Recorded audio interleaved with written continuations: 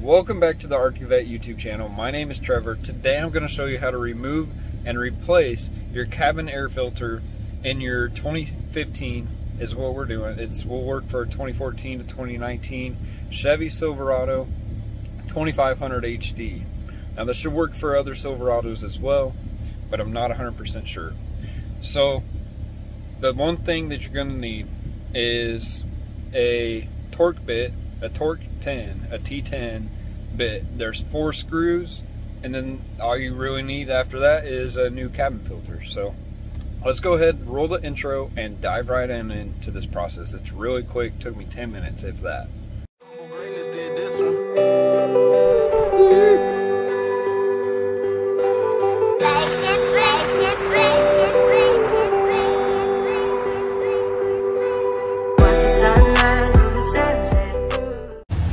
To remove the glove box, the lower glove box, box, glove box, you have to remove this screw here, which is a T10, and this screw right over here is a little tougher to get to.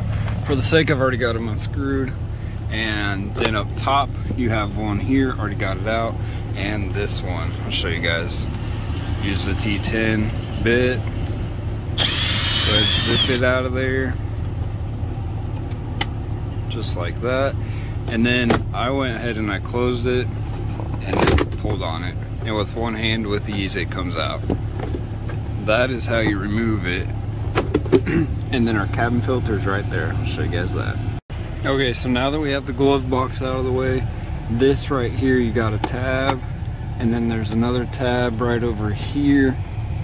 Kind of hard to see right there. And then this will just pop out. Boom, there's your air filter. As you can tell, ours is very dirty. Very dirty. Look at that. So that is our cabin air filter. I'm gonna go ahead and just set it down right there. And then we got our new one.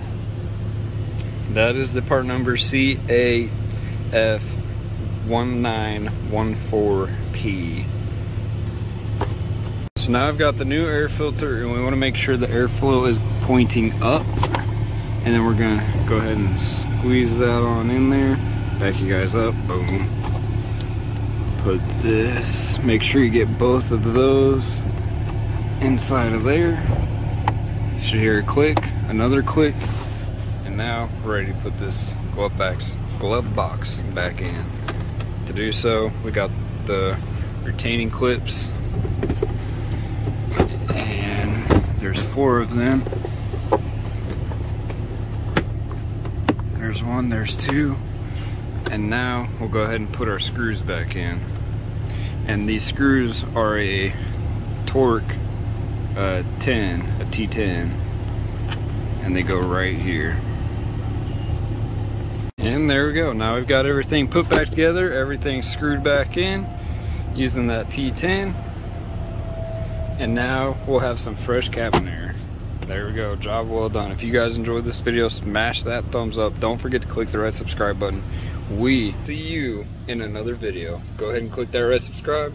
Don't forget to ring that bell. Drop us a comment down below. Let us know if this helped you. God bless.